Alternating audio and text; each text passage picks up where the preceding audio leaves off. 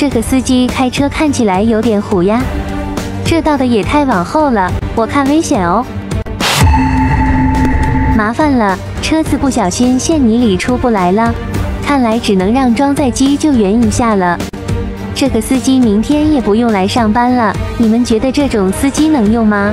评论区打出你的想法哦。一切工作准备就绪，开始救援。为了方便大家观看，我们把镜头切换一个超广角。装载机还是个四驱，差速锁也已经打开。后面的自卸车看起来还是一动不动。油门加到底，继续拖拽。装载机的四个轮子不停地原地旋转，感觉用出了洪荒之力。稍微有点希望，再次发力救援。装载机驾驶员趁机猛打方向，成败在此一举。加油！